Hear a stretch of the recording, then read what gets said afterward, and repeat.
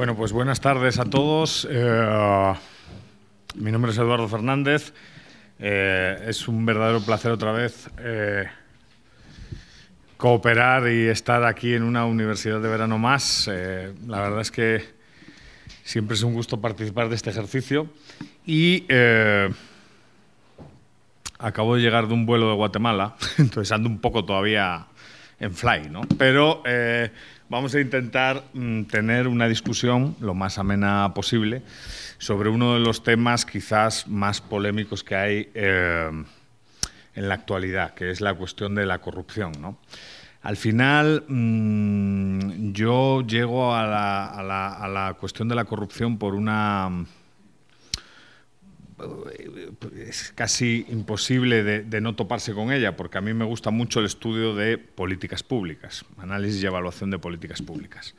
Entonces, cuando uno empieza con el análisis y evolución de políticas públicas, eh, pues tiene que hacerse preguntas. Entonces, si uno mezcla la disciplina de políticas públicas y sobre todo la disciplina de elección pública o public choice, que son, digamos, las áreas eh, pues, en las que me siento más cómodo, eh, empiezan a surgir preguntas que, bueno, hay que responder, ¿no? sobre todo si lo que buscamos es analizar una política pública.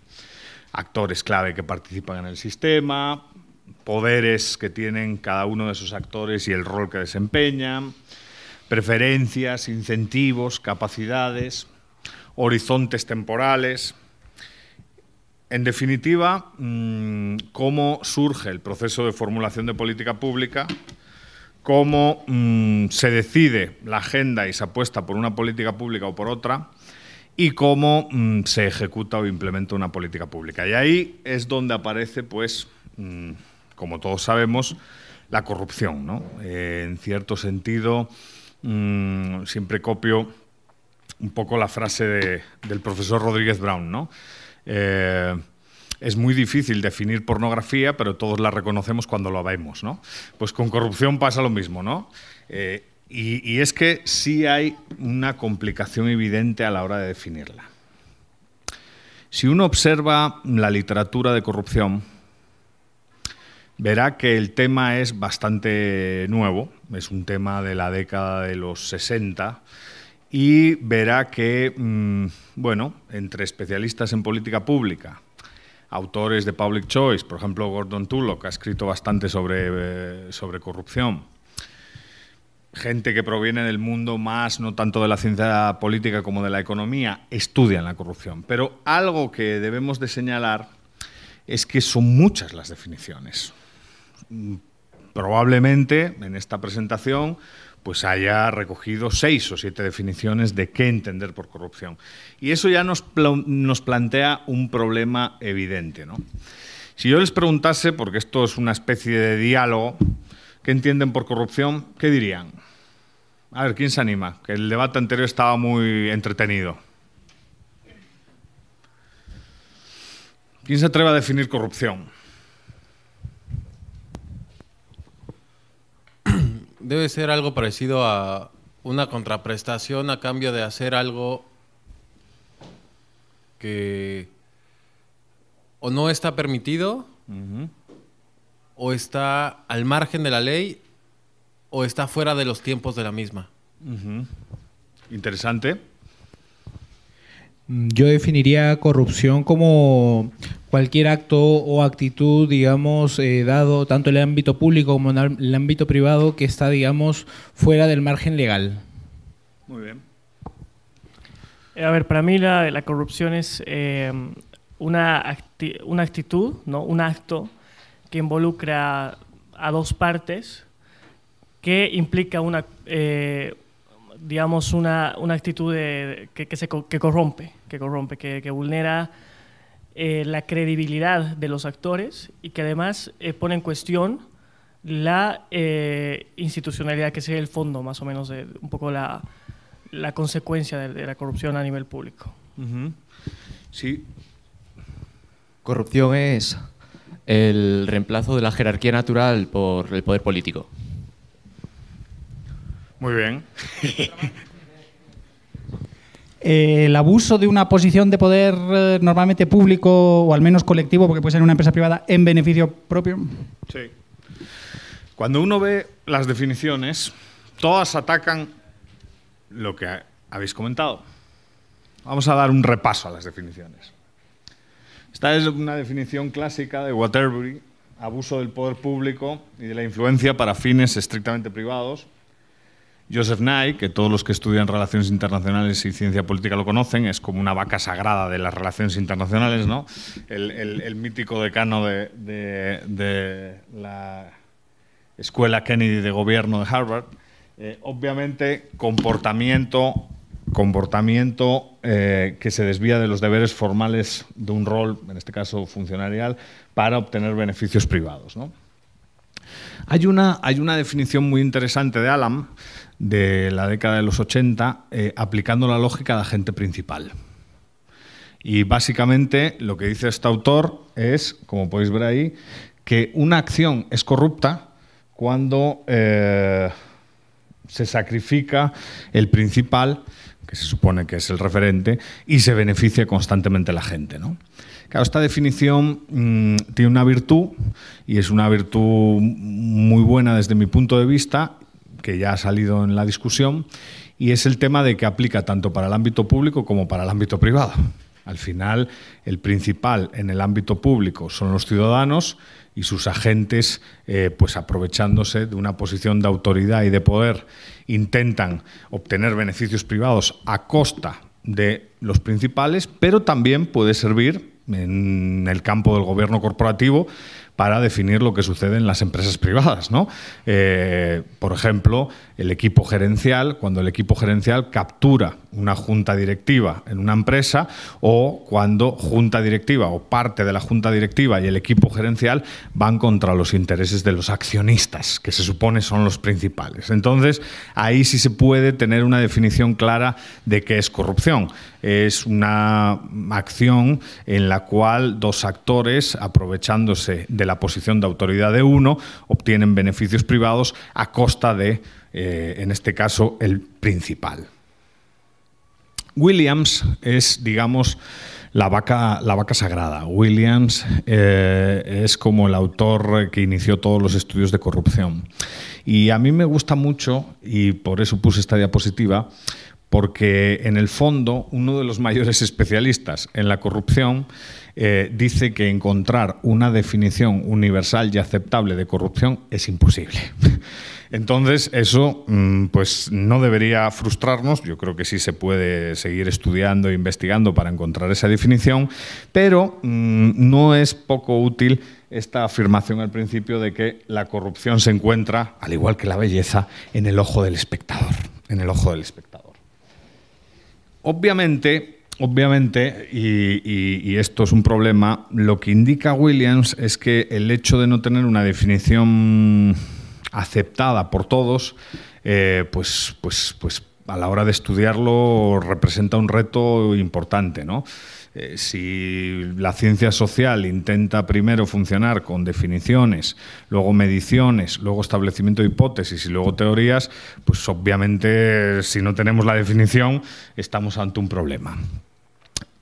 Heidenheimer, que es otro autor, en teoría, otra vaca sagrada en el estudio de la corrupción, tiene un libro muy famoso que se llama Political Corruption.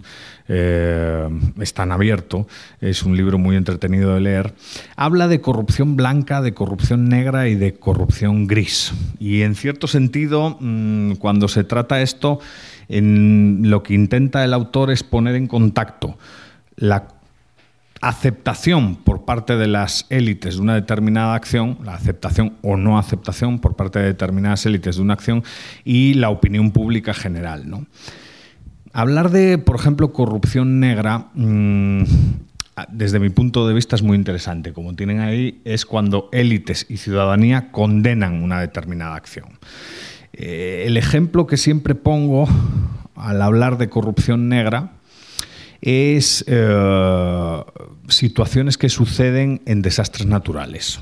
Es algo que ha estudiado un profesor de George Mason, que se llama Virgil Store, tiene papers muy interesantes al respecto.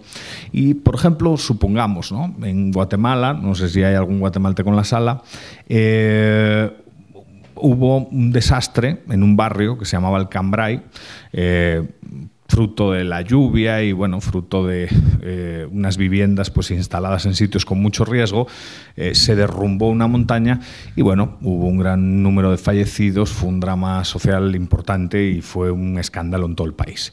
La cosa es que mm, de la mano de ese desastre digamos, asociado al clima y asociado a una mal situación de las viviendas y tal, eh, bueno, la ciudadanía fue terriblemente solidaria, empezó a aportar dinero, comida, dinero, para hacer frente a la crisis y eh, se detectaron irregularidades, ¿no? O sea, gente que se suponía tenía que coordinar la, ayuda y que tenía que hacerla, tenía que ejecutarla distribuyéndola entre los afectados, eh, se robó el pisto y se, bueno, el pisto, la plata o el dinero, como dicen allí, se robó el dinero y, y, se robó incluso en algunas situaciones víveres que luego vendió después, ¿no? Claro, eso es corrupción negra, eso es corrupción de la peor. O sea, eso, la élite política rechaza ese tipo de acciones y la ciudadanía evidentemente condena ese tipo de acciones.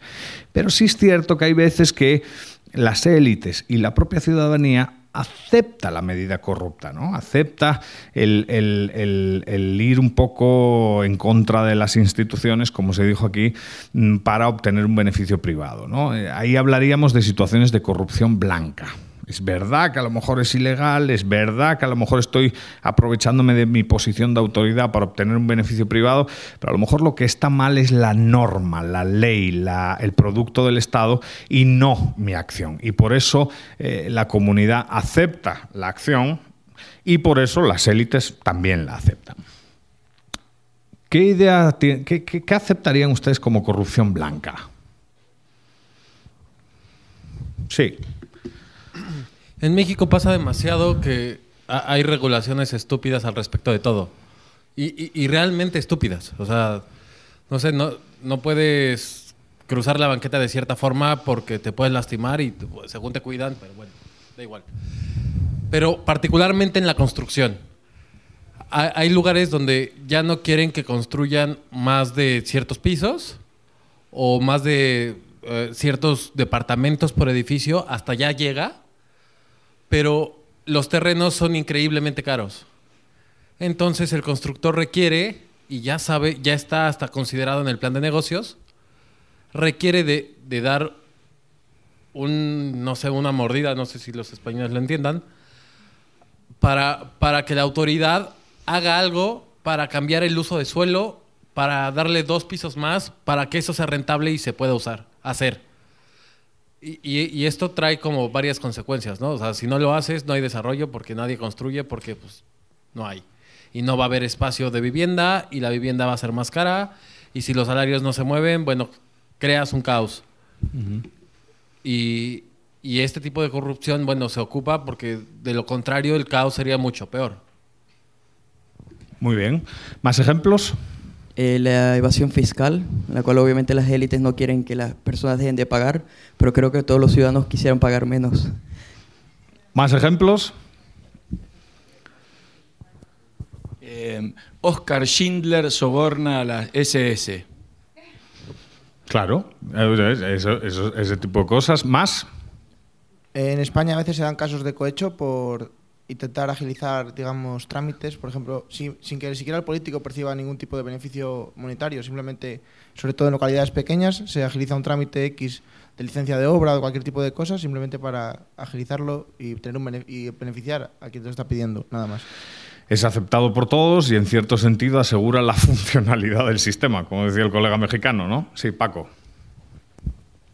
Yo no tengo ningún ejemplo, aparte de los que están diciendo, pero tengo un problema con quiénes todos. Es obvio que todos no pueden aceptarlo, porque entonces sería una norma algo raro que está ahí. Puedes decir que todos los de un determinado conjunto lo aceptan, pero todos los otros sí. Los nazis no aceptaban no. lo que estaba haciendo Schindler y si se hubieran enterado le habrían matado. No, no. Y, el comentario de Paco es muy acertado porque también con la evasión fiscal, pues muchos progres tampoco lo aceptan. O sea, ese todos, pues es, es complicado, ¿no? Pero sí es cierto que hay, hay, hay normas. eh, a mí el caso de México me, me interesó. Sí es cierto que hay normas que hay bastante consenso sobre la estupidez de la norma y que hay como un, mm, digamos, consenso alrededor de, bueno, dar una aprobación ética a saltarse la norma y con ello pues incurrir a lo mejor en corrupción, ¿no? Johnson y Sharma, que son otros autores, estos de 2004, más que hablar de definición de corrupción, eh, pues, pues al final proveen una lista de formas de corrupción, ¿no? Y hay varios, ¿no? Pues a lo mejor eh, en países de América Latina es bastante típico pues lo, lo que aparece al final, ¿no? Patrimonialismo, clientelismo. En función de los países, pues el grado de corrupción cambia y la forma que adquiere la corrupción también cambia, ¿no? Ahora, yo siempre he optado por, por la definición de Ian Senior. ¿no? Ian Senior es un autor eh, que no pertenece a la academia, es básicamente un consultor, eh, trabaja mucho con el Institute of Economic Affairs, es uno de los bueno, colaboradores habituales cuando se trata esta cuestión y tiene un libro, también de acceso libre, también gratuito, eh, Corruption, de Big C, que se puede descargar y que en 150 páginas hace un repaso muy interesante al fenómeno de la corrupción. Yo creo que entre Ian Senior y a lo mejor, eh, pues por hablar de algo más actual, los trabajos de Dahlstrom, el, socio de Víctor Lapuente, aunque sea un progre, eh, son quizás los más importantes a la hora de la corrupción. La definición de Senior mm, eh, tiene unas palabras clave que a mí me interesan bastante. ¿no? Para que la corrupción tenga lugar se necesita desarrollar un favor encubierto, o sea, por debajo de la mesa. Eh, además de que sea encubierto, la idea es, a través de ese favor y de esa posición de autoridad, eh, modificar la conducta de determinados individuos. Y eh, obviamente esos individuos responden a una estructura jerárquica que en el fondo sale beneficiada con, con- la, con la acción. ¿no? Un ejemplo muy claro mm, que también sucede en América Latina son las eh, dinámicas fiscales paralelas. Por ejemplo, en aduanas. ¿no? En aduanas tú tienes ya una política de aduanas, mm, digamos mala o buena, pero tienes una política de aduanas eh, evidentemente, desde el punto de vista liberal, toda política de aduanas es mala porque los liberales están a favor de destruir las aduanas, pero eh, si tienes una política de aduanas, generalmente suele edificarse de manera paralela un sistema mm, alternativo que responda al poder y que cobra mordidas y que se enriquece, digamos, ilícitamente por castigar o premiar a determinados amigos. ¿no? Eh, en México, por ejemplo, eso sucede. Sucede en Guatemala de manera obscena con el caso La Línea, eh, que era un sistema fiscal paralelo eh, dentro de las propias aduanas para enriquecer a los miembros del Poder Ejecutivo.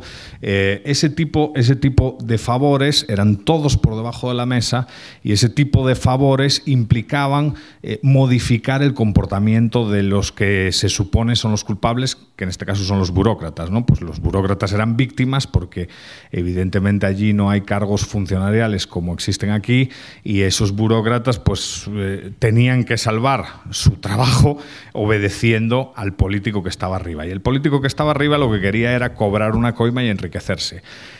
La dimensión de las coimas en algunas situaciones llegó a ser obscena, ¿eh? por licitaciones de puertos y por algunos trámites, incluso 30 millones de dólares, que son cosas que, que no es baladí. O sea, es una, eh, esto es importante. A lo mejor en algunos países la licitación de obra pública, si aquí en España hubo un escándalo con el famoso 3%, bueno, el 3% es un juego de niños, en algunos países de América Latina subió al 25% el, el- el- porcentaje sobre licitación, lo cual es un nivel obsceno de corrupción.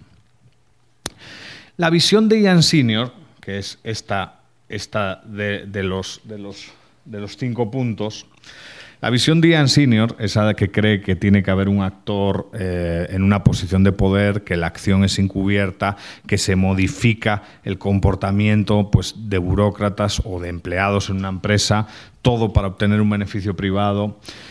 Es una definición desde mi punto de vista buena porque es transparente, sencilla y sobre todo porque diferencia eh, a la corrupción del fraude y del robo, que son cosas distintas. La corrupción es más complicada. ¿no? ¿Por qué la corrupción no es técnicamente un robo? Bueno, la corrupción técnicamente no es un robo porque en cierto sentido en un robo solo hay dos actores, ¿no? Pero con la corrupción siempre se producen mm, problemas que erosionan la arquitectura institucional y en cierto sentido también el sistema ético de la comunidad. Evidentemente la corrupción no es un fraude. Si definimos fraude, el fraude hay que entenderlo mm, cuando un individuo se aprovecha de bienes sobre los cuales no tiene propiedad legítima. Y en este caso, pues es muy, a mí siempre me gustó el ejemplo de los pasaportes.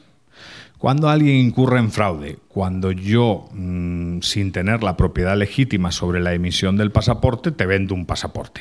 Uno puede en Estados Unidos comprar green card falsas para trabajar y en un gran número de países puedes comprar pasaportes. Ahí estamos hablando de fraude, ¿no?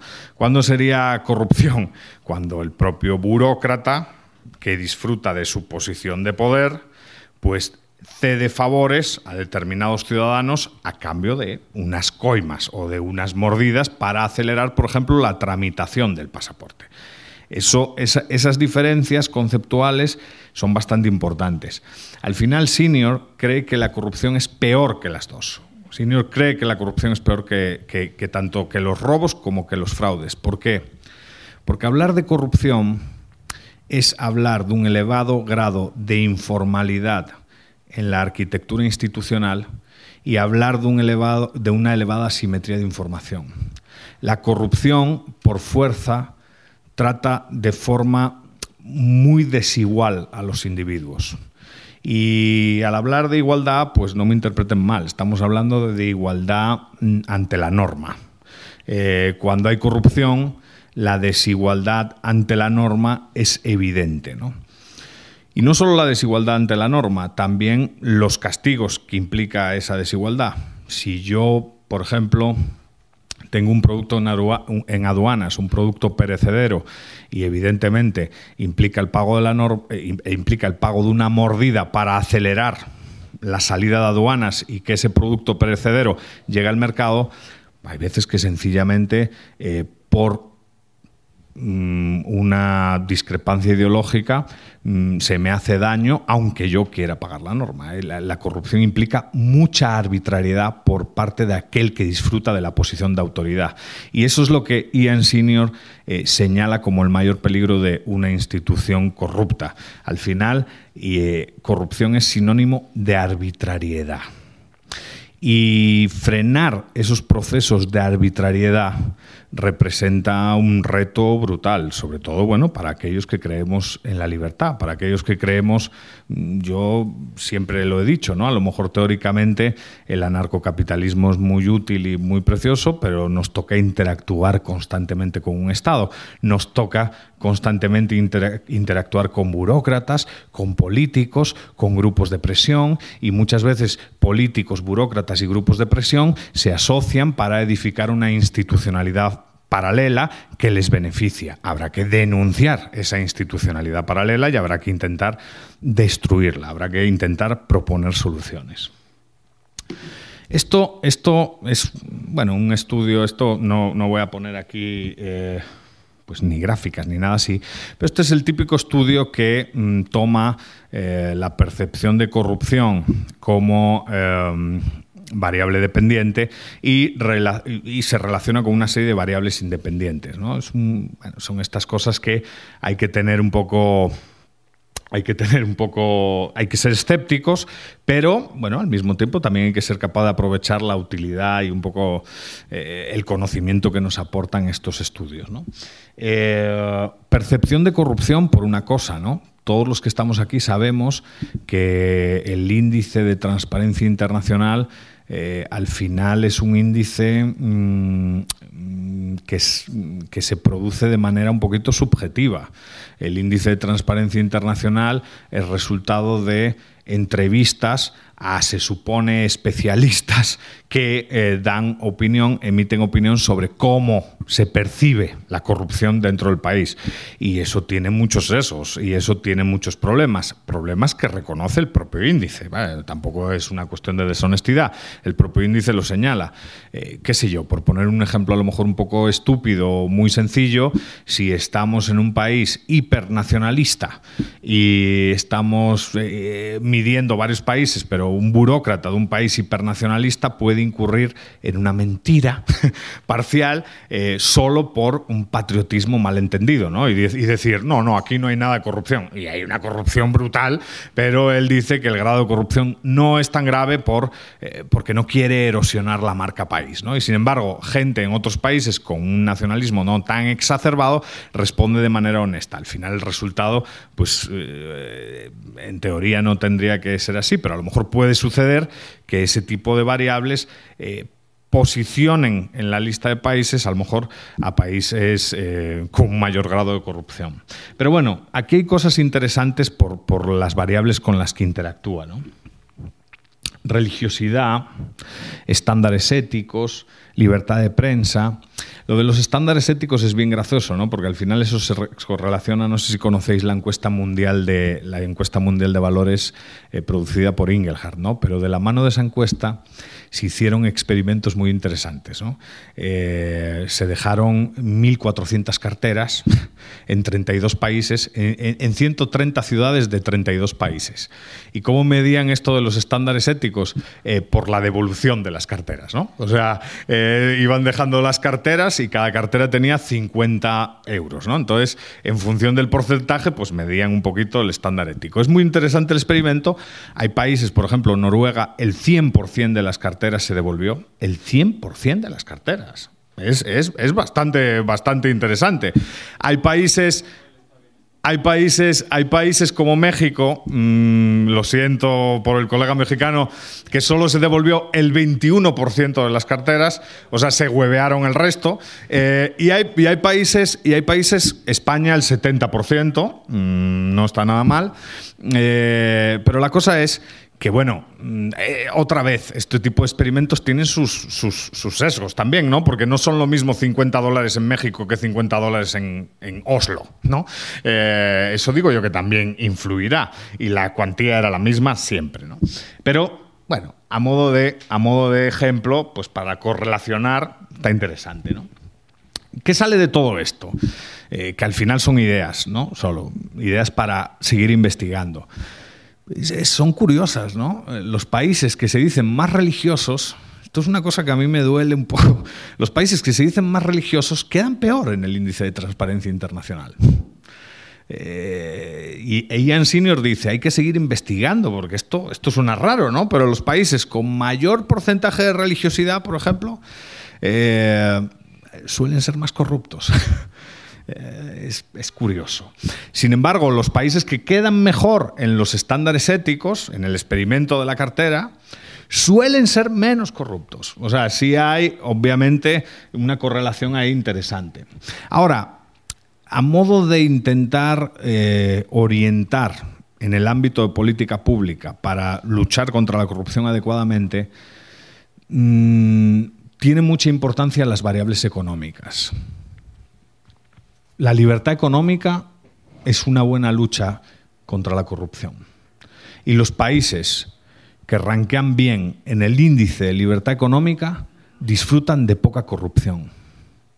Es irrefutable, irrefutable que el libre mercado y que las fronteras abiertas favorecen la ausencia, o sea, favorecen la lucha contra la corrupción. No, dirí- no diría la eliminación, no me atrevería tanto. Corrupción siempre va a haber, pero un menor grado de corrupción vinculado al libre comercio y vinculado a la libertad.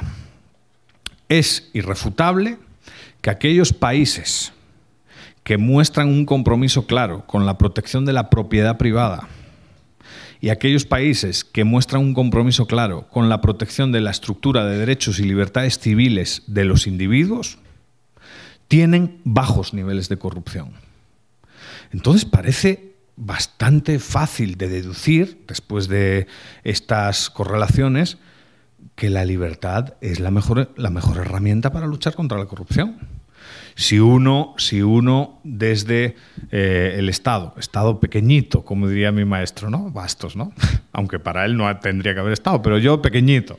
Eh, si uno desde el Estado tiene claro eso, sabe que la liberalización, la liberalización eh, de la economía y el compromiso por parte del Estado con la protección de los derechos y libertades individuales hará que reducirá las probabilidades de la corrupción. Es irrefutable.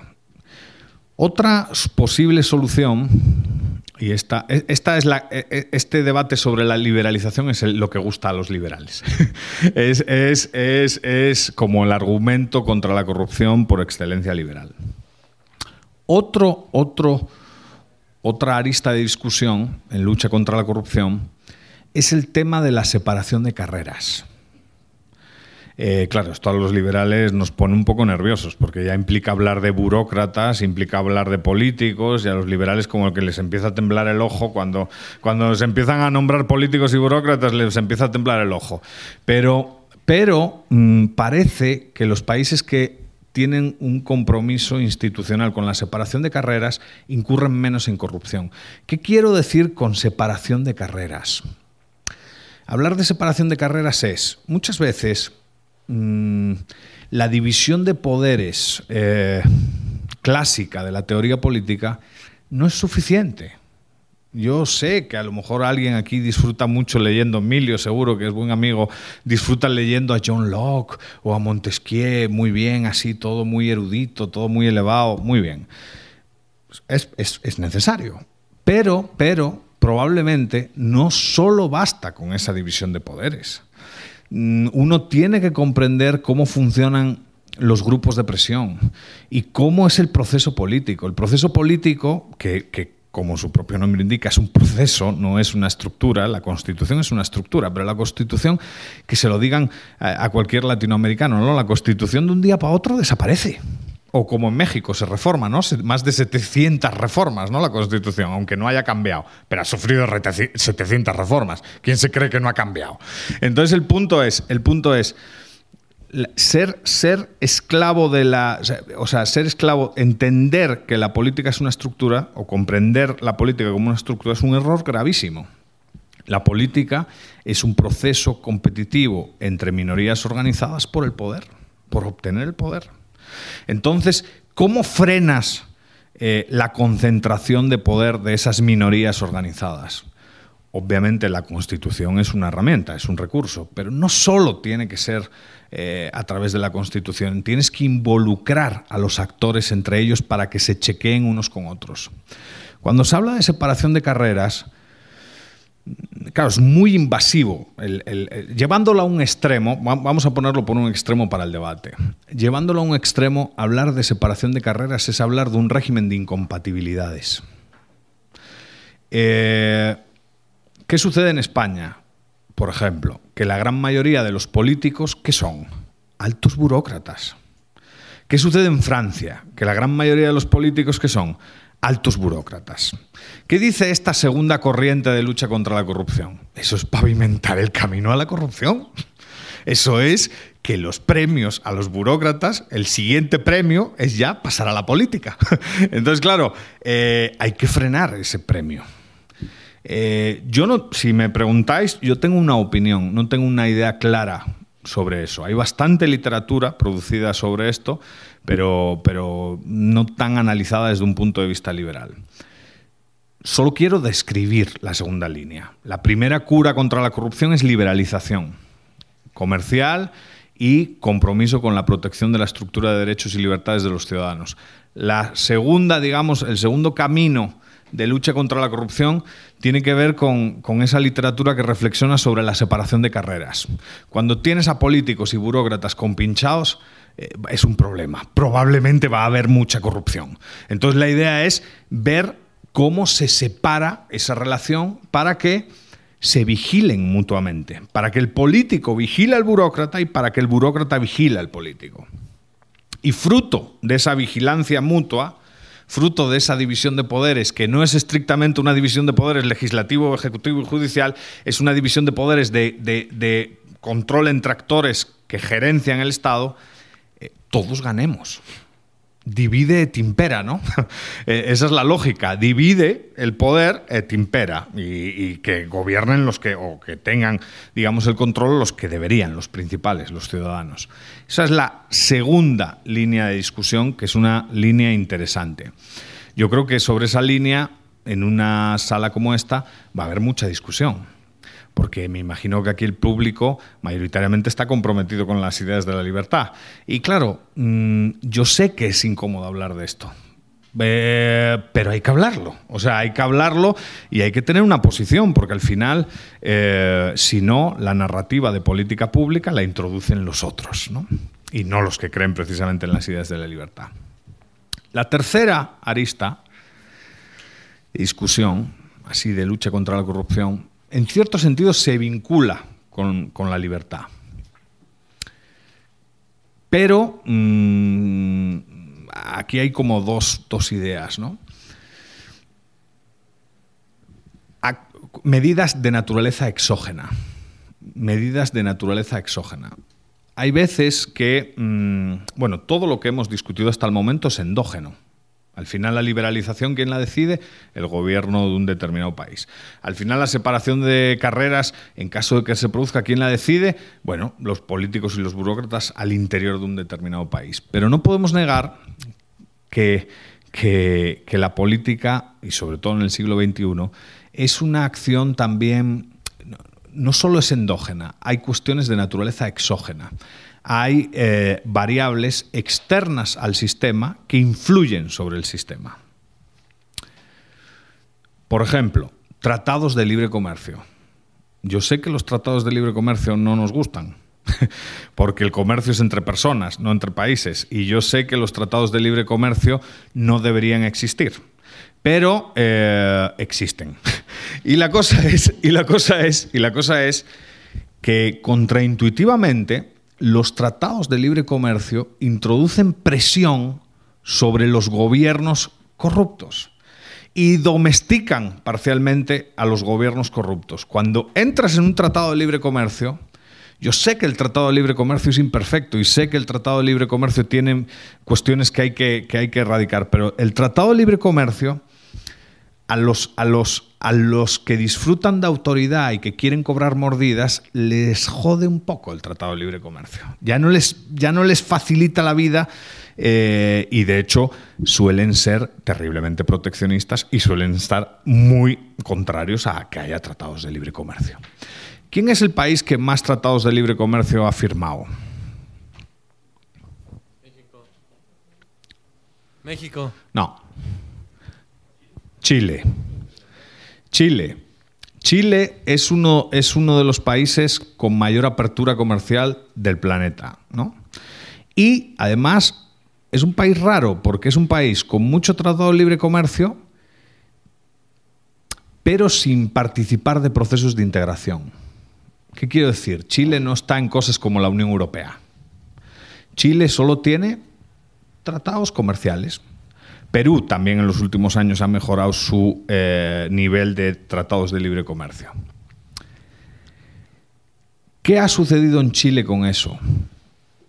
Que los niveles de corrupción en Chile son bajísimos. En, en perspectiva latinoamericana, por mucho, pero es que yo creo, eso se puede checar en línea, que creo que está mejor posicionado incluso que España en el índice de transparencia internacional.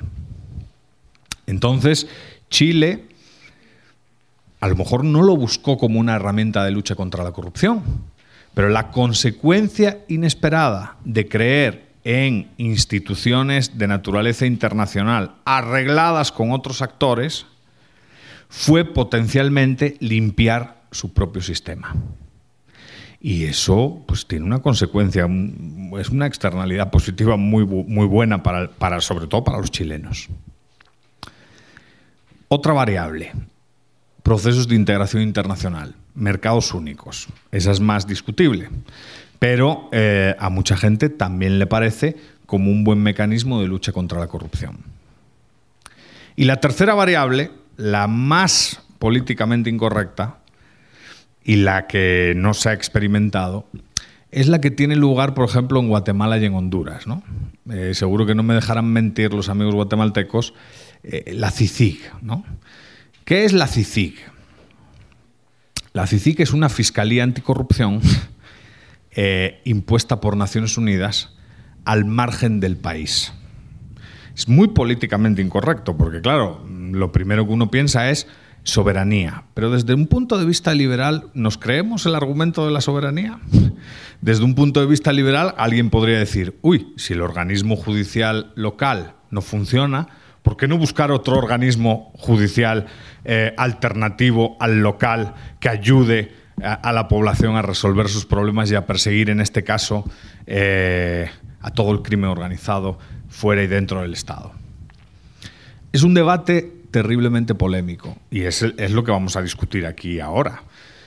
Eh, Porque sobre la primera línea de soluciones no hay debate entre liberales, ¿no?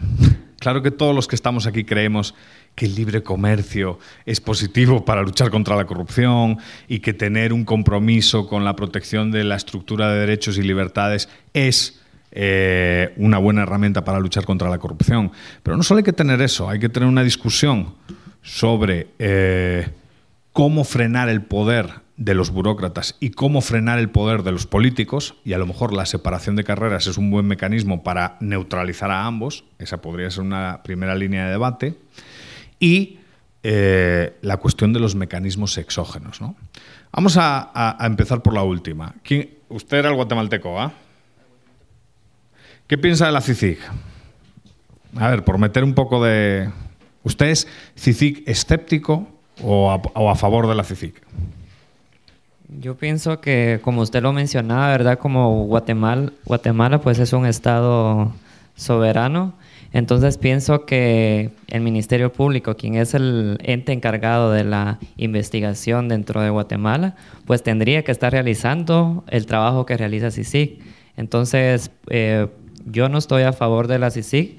Sin embargo, el, el Ministerio Público se ha dejado mucho que desear porque le ha dejado todo el trabajo a ellos o, o- o no sé qué ha pasado ahí, pero todas las capturas que han tenido pues han sido eh, pues gracias al, trabajo que CICIG ha realizado o ellos han querido dar a conocer eso, ¿verdad? Entonces yo pienso que, ha sido bueno el trabajo que ha hecho, sin embargo, no estoy de acuerdo que, que esté dentro del país porque por lo que les decía, ¿verdad? El Ministerio Público es el ente encargado para poder realizar ese trabajo. ¿Alguien cree que la soberanía es un buen argumento para inhabilitar, digamos, competencias jurisdiccionales?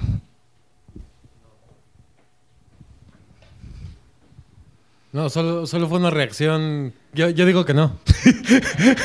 Solo, solo fue una reacción instintiva, puro instinto liberal. Pero ¿cuál es tu opinión entonces? Que la soberanía es una falacia. O sea, que, que, que bueno, de- no podemos hablar de soberanía si no hablamos de Estado. Y si no creemos en el Estado, o aunque creamos en un Estado pequeño, estar hablando de soberanía solo es causar conflictos internacionales. Es la semilla principal de la guerra. Paco. Eh, yo- Paco, Paco, está enfadado ya. Ah, mira, me gustaría comentar el problema de soluciones exógenas es que la sostenibilidad de estas soluciones. Al final, creo que las, las poblaciones las- o eso, la nación o las personas que son parte de un conjunto político deberían aprender a buscar sus, sus soluciones. Si vienen externas, quizás no se mantengan en el tiempo. A mí no me parece mal que si un Estado falla calamitosamente en algo que debería estar haciendo, se intervenga. El problema es que no tengo claro que eso sea una violación.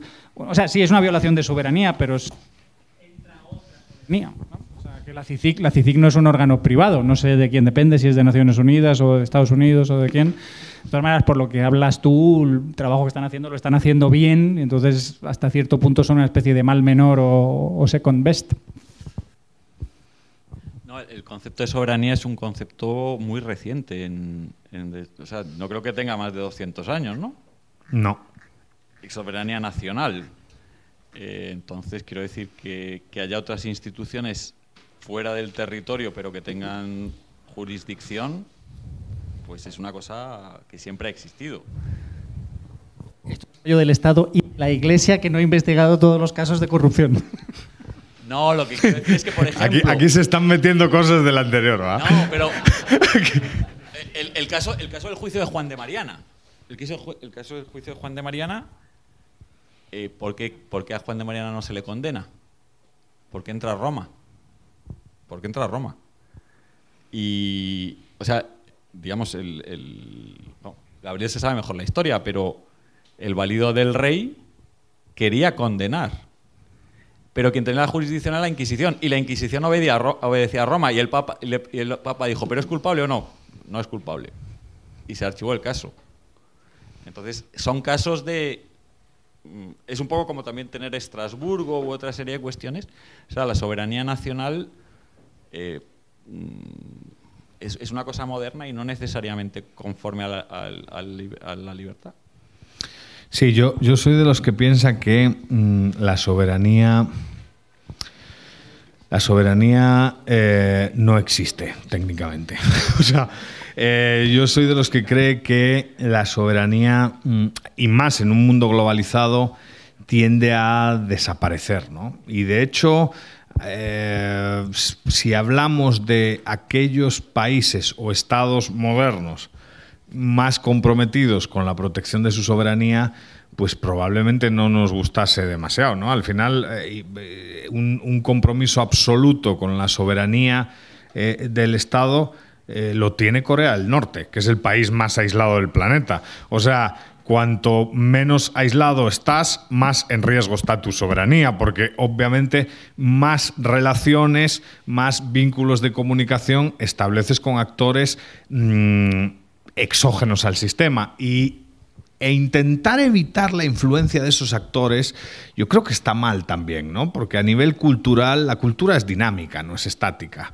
Las instituciones son dinámicas, no son estáticas. Y si creemos en la competencia, la competencia no solo es una cuestión de mercado, es una las instituciones compiten también. Y es verdad lo que dice Paco. Yo no defiendo a SIS- SISIC, no es un órgano de justicia privado, es de Naciones Unidas. Es un second best. Lo ideal sería que fuese privado. Pero, pero no lo hay. ¿Y la alternativa cuál es? Mantener un organismo judicial y un MP ineficaz, ineficiente, incapaz de responder ante los problemas de la ciudadanía. Y aquí, pues, incluso los anarquistas, los anarcocapitalistas pueden estar de acuerdo. Aquí se está hablando de provisión de seguridad y de justicia. ¿eh? No se está hablando de welfare state, ni de- estamos hablando de provisión de seguridad y justicia, de lo básico, de protegerte frente al crimen organizado, que es la mayor fuente de corrupción y de asimetría de información dentro del sistema para obtener beneficio privado. Entonces, a lo mejor una alter, un second best es, ya que vivimos en un mundo globalizado, pues mm, buscar ayuda fuera, buscar ayuda fuera. Tampoco es, tampoco es una, yo no, no- no es algo de lo que se haya que avergonzar, ¿no? Y creo que, bueno, la Unión Europea también en cierto sentido funciona así, ¿no? Eh, muchas veces eh, se apela a un nivel eh, externo para, mm, digamos, ver si hay posibles soluciones a los problemas que, que existen de manera interna, ¿no? Es un mecanismo de competencia, no de mercado. Yo comparto la idea de Paco, no es lo que nos gustaría, pero, pero mejora la situación presente, que es, yo creo, eh, de lo que se trata en política pública. En política pública es, eh, vale, no es lo ideal, pero mejoramos el statu quo. Y, y eso, es, eso es lo que se necesita, porque, porque la situación actual pues, es dramática, ¿no? El tema, el tema de los organismos exógenos, repito, tampoco hay que obsesionarse con, con llevarlo a organizaciones de naturaleza internacional. Porque el tema de los organismos exógenos también tiene que ver, como decía antes, con tratados de libre comercio. ¿no? O con una red, digamos, eh, si un país está hiperglobalizado, es un poco lo que dice Johan Norberg, ¿no? Eh, los países más globalizados suelen ser los más transparentes.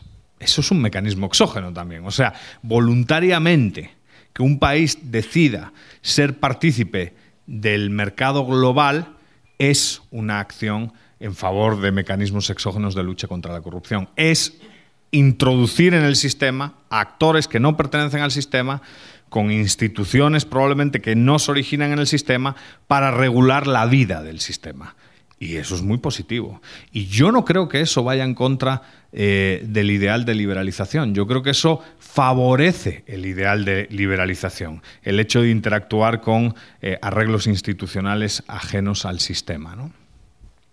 ¿Qué opinión tenéis sobre la separación de carreras? ¿Un ideal imposible? ¿Algo irrealizable? Eh, como siempre digo la frase de Ortega, eh, el esfuerzo inútil conduce a la melancolía. ¿Es la separación de carreras un esfuerzo inútil, separar la vida de burócratas y de políticos? Sí, Paco.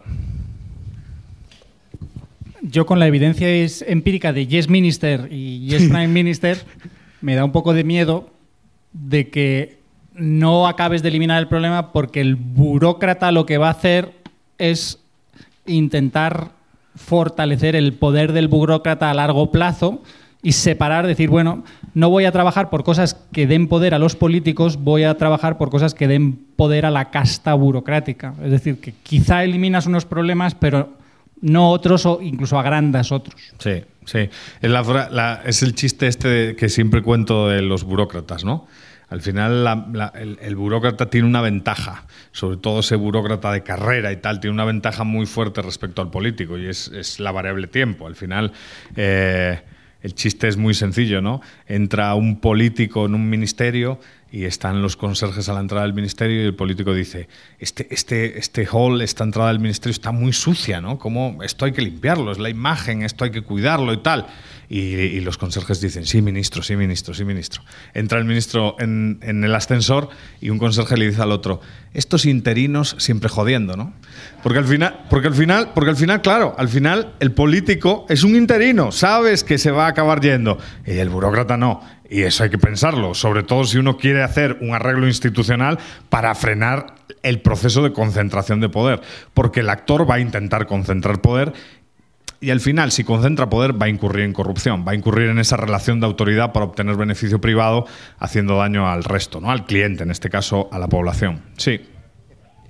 Hay, otra ahí también, pero bueno. No, no, Pablo, dale tú. Sí, yo, yo tenía una duda o tengo una disyuntiva, porque si bien por un lado, y se ve mucho en Latinoamérica, la discrecionalidad de los políticos para introducir nuevos burócratas. En cada cambio de gobierno hay muchos cambios de, cargos y eso, eso es problemático porque entonces se crea una fidelización no al sistema, sino al político de turno o al partido político de turno.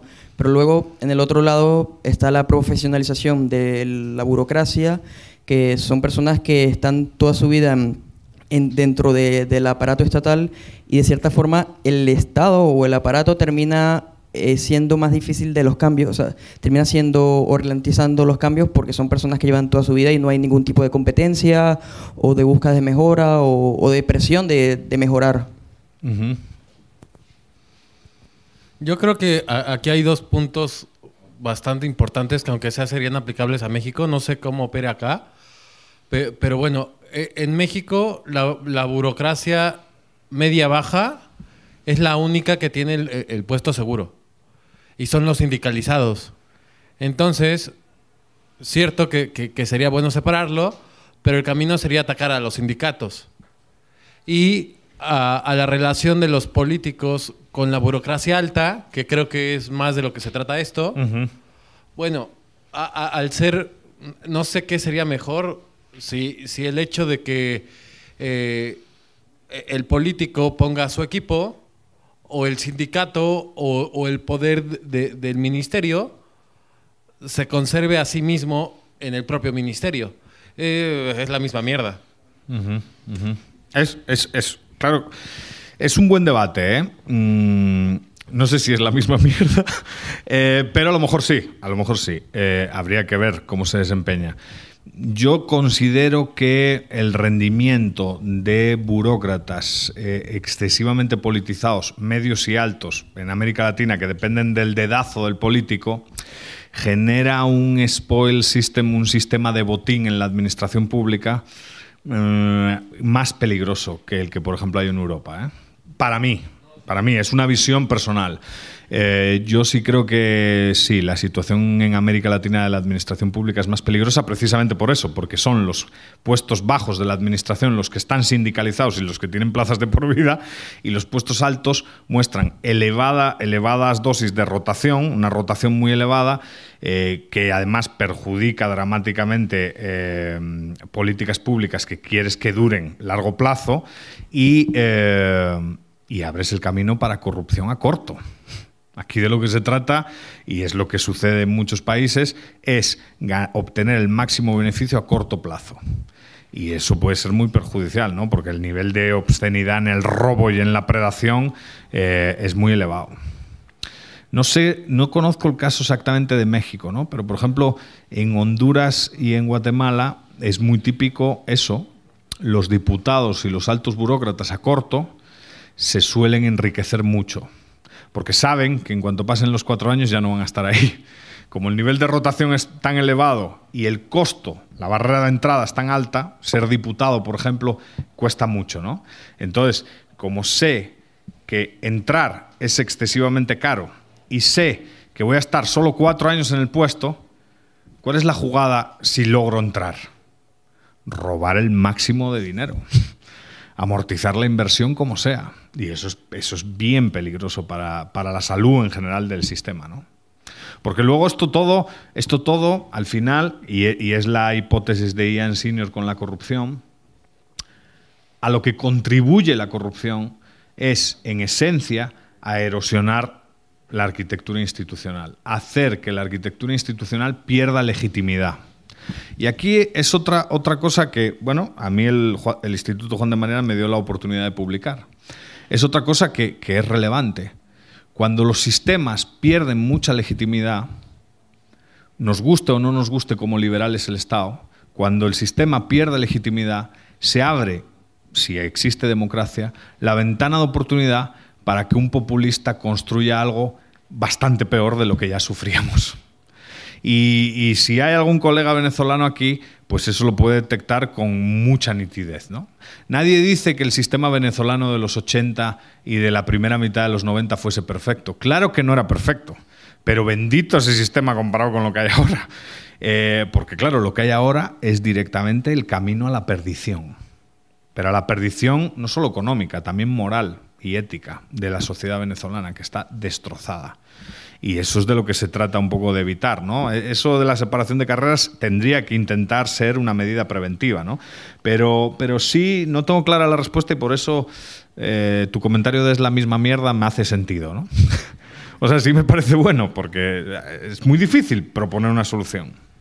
Eh, profesor, más allá de separar las carreras, a veces dentro de la misma burocracia también ir desgregando ciertos departamentos, por ejemplo, yo lo veo en Chile, que muchas veces dentro de los mismos departamentos burocráticos, para, y bueno, esto viene desde arriba, tratar de externalizar la mayor cantidad de actividades posibles, por ejemplo, eh, la eh, consultoría y un montón de, por ejemplo, la, seguridad, ya no son guardias que son controladas por el Estado, y una empresa externa.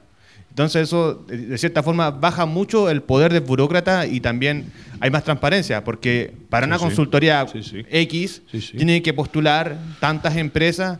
Ahora, si la, la, licitación es, arreglada, ya eso es otra cosa. O yo trabajo haciendo consultoría, así y cuesta a veces ganársela. Claro. Algunas empresas de repente se las ganan y uno no sabe cómo se las ganan. Y eso, lo he visto en Chile. Bueno, ese es otro, ese es otro otro punto endógeno, ¿no? El, acceso a información pública y la transparencia de los procesos. ¿no? Los procesos que son excesivamente complicados, la tramitología que hay en, el ámbito, digamos, cultural eh, latinoamericano, es, un incentivo, es, pavimentar el camino para corrupción, ¿no? Pero lo de, lo de sí, lo de hasta cierto punto externalizar provisión de servicios, a, a mí me gusta mucho, ¿no? Y gusto o no, en política pública es muy útil. cuánto mejor funciona la educación concertada que la educación pública. ¿Es un second best? Sí. Eh, ¿Lo ideal es que fuese privada? Sí, pero eh, bueno, ante la alternativa, la otra es bastante funcional. Bueno, eh, mire, mi propuesta va por el, por el lado de, aparte, digamos, de separar las carreras, ¿no? Eh, yo lo vería de forma más horizontal a través de cada ministerio, ¿no? Y que haya competencia, por ejemplo, entre abogados o economistas que están dentro de allí y puedan pasarse, digamos, eh, de forma competitiva de ministerio a ministerio, ¿no? Entonces, digamos, no haces una sola casta en el Ministerio de Economía o una sola casta en el Ministerio del Ambiente o de Educación. Y, digamos, yo creo que eso sí podría generar incentivos a no perpetuarse en un solo lugar y que, digamos, esto genere un mayor dinamismo, ¿no? Claro, sí, sí, sí. El punto es cómo generar ese sistema de competencia. O sea, cómo hacer viable ese sistema de competencia. Sí, sí, por favor. Sí, yo quería pre- preguntar su opinión sobre un tema conexo, que sería el de la desprotección de la figura del delator, ¿no? Porque estamos hablando de- del control de políticos por burócratas o al contrario, ¿no? Sí, sí. Y yo creo que aquí en España es un problema especialmente importante, ¿no? Porque muchas veces eh, la corrupción es, es un secreto a voces, ¿no? Tenemos los casos de un, de un alcalde corrupto y en el momento que un funcionario pues lo denuncia, automáticamente lo van a denunciar por calumnia y pierde, a lo mejor no pierde su empleo, pero bueno, está de baja por depresión o se arruina pagando abogados, ¿no? Entonces, sí. ese punto me gustaría conocer su opinión. Sí, sí, sí, sí, sí. Es, es muy buen punto. Eh, Vieron que la presentación es un poco más larga, lo que pasa es que como me dijeron, acabar a menos cuarto, pues, era lo que ponía el horario, pero, pero efectivamente, el, el promover la cultura de denuncia es un mecanismo excelente y para luchar contra la corrupción y, y hasta cierto punto inhabilitar eh, al corrupto. Y en muchos países no hay esa promoción de cultura de denuncia ni de protección del delator. Porque evidentemente, eh, bueno, veamos a los delatores en España. Los delatores en España, tanto si denuncian en la empresa privada como si denuncian en el ámbito público, pierden, cierran todas sus posibilidades de, desarrollo futuro. Es, es, en vez de premiarte por denunciar la corrupción, te castigan por denunciar la corrupción. Eso pasa también en América Latina de manera brutal, ¿no? O sea, si uno tiene el valor de denunciar, el costo, eh, incluso ya más allá de lo personal o profesional, familiar, amenazas a familia, todo ese tipo de cosas, de, de enfrentarse al sistema de la corrupción es muy elevado. Y probablemente eh, esto, esto es un área de política pública muy relevante, que hay que perfeccionar, porque al final va de la mano de la protección de, de garantías del individuo. ¿no? Eh, si uno cree que hay que luchar contra la corrupción y erosionar ese sistema institucional paralelo que nos hace la vida imposible a todos. ¿no? Ya se acabó, ¿no? Bueno, oye, pues muchas gracias por este diálogo, ¿eh? ha sido muy bueno. Eh,